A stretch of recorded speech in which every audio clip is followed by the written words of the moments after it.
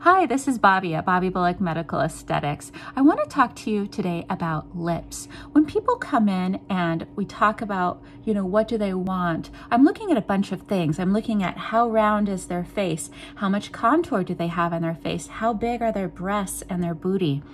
If you have a lot of volume in other areas, then it makes sense to have larger lips because it's going to be symmetrical and it's going to balance everything out. So you're not like this Q-tip with these large breasts falling over. You actually have some proportion. So this gal is a great example. She didn't have a lot of contour to her face, but she had a beautiful shape to her lips.